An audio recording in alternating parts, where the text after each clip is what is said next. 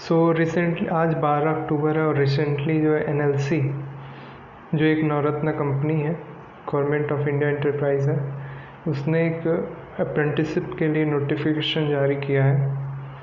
तो उसके बारे, उसकी जानकारी मैं इस वीडियो में देने वाला हूँ। कितना स्टाइफंड है, कितनी वैकेंसी है कौन कौन अप्लाई कर सकता है और क्या इंपॉर्टेंट डेट्स हैं और कैसे अप्लाई करना है। पूरी जानकारी मैं इस वीडियो में देने वाला हूँ।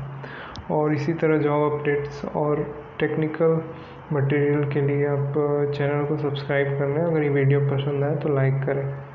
और जिसको भी ज़रूरत हो उसके साथ शेयर करें। तो इसमें क्या है? एनएलसी जो है एक एक साल का अप्रेंटिसशिप ट्रेनिंग जो है अनाउंस किया है, जिसमें कौन कौन अप्लाई कर सकता है? तमिलनाडु, आंध्र प्रदेश, तेलंगाना।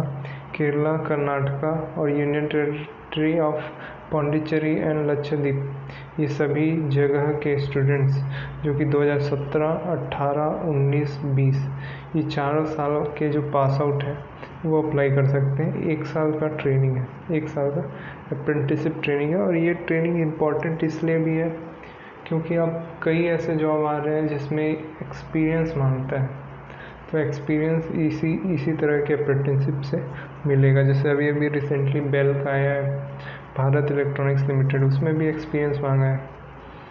तो ये वहाँ पे काम आएगा। तो कितनी वैकेंसीज है? तो डिसिप्लिन वाइज वैकेंसीज स्टेबल में दिया हुआ है। जैसे triple E electrical and electronics के लिए सत्तर वैकेंसीज है सेवेंटी और ईसी e के लिए इलेक्ट्रॉनिक्स एंड कम्युनिकेशन के लिए दस है. इंस्ट्रूमेंटेशन के लिए दस है सिविल के लिए पैंतीस मैकेनिकल के लिए पचहत्तर. कंप्यूटर साइंस के लिए बीस केमिकल के लिए दस. और माइनिंग के लिए बीस. तो इस तरह से टोटल दो सौ पचास वैकेंसीज है. मंथली स्टाइफन यहाँ पंद्रह हज़ार अट्ठाईस रुपये मिलेगा, एक साल का ड्यूरेशन है ट्रेनिंग का. दूसरा कैटेगरी है डिप्लोमा वालों के लिए। वो था इंजीनियरिंग ग्रेजुएट्स के लिए। ये डिप्लोमा के लिए भी है।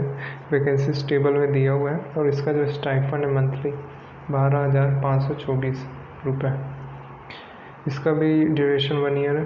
सिलेक्शन प्रोसीजर क्या हुआ?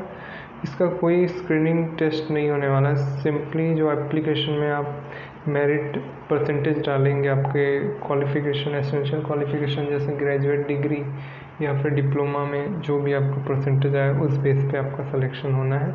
उसके बाद डॉक्यूमेंट वेरिफिकेशन होगा, चेन्नई या फिर न्यूली में, ठीक है? इंपॉर्टेंट डेट्स ये है कि जो ऑनलाइन एप्लीकेशन है, वो पंद्रह अक्टूबर से स्टार्ट होने वाला है और लास्ट डेट जो है, दस नवंबर है। तो टाइम है, लेकिन अप्लाई करने का तरीका थोड़ा अलग है, वो मैं आपको बताता हूँ। अगर आप जो है नेशनल वेब पोर्टल पे इनरोल नहीं किए हो तो कैसे इनरोल करना है? सबसे पहले इस वेबसाइट पे जाना है W W W dot M H R D N A T S dot G O V dot in step one है। फिर इनरोल में क्लिक करना है। एप्लीकेशन फॉर्म को कंप्लीट करना है। यूनिक इनरोलमेंट नंबर जनरेट होगा। ठीक है, उसके बाद स्टेप टू करना है लॉगिन करना है।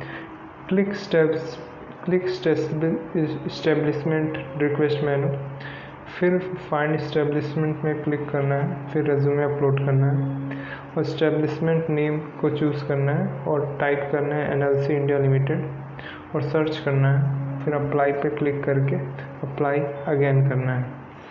तो ये है आपका जो बच्चे जो है इनरोल नहीं हुए हैं नेशनल वेब पोर्टल अगर ऑलरेडी इनरोल्ड है तो सिंपली स्टेप टू ही फॉलो करना है।